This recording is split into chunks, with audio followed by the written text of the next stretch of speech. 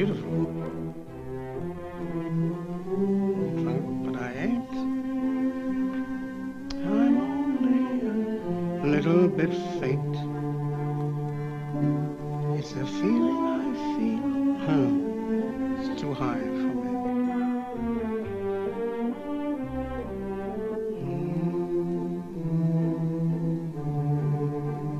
Hmm. My mother used to sing this to me.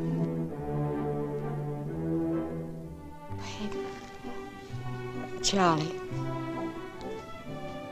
Remember? As Billy the boy, Master Charles Chaplin is decidedly clever. Modesty forbids. And here it says, uh, uh, Mr. Clive Ross is perfectly that Schopenhauer said happiness is a negative state, but I disagree. For the last 30 years, I've known what happiness means. I have the good fortune to be married to a wonderful wife.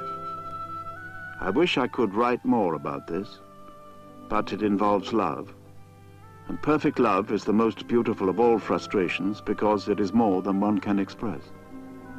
As I live with Oona, the depth and beauty of her character are a continual revelation to me.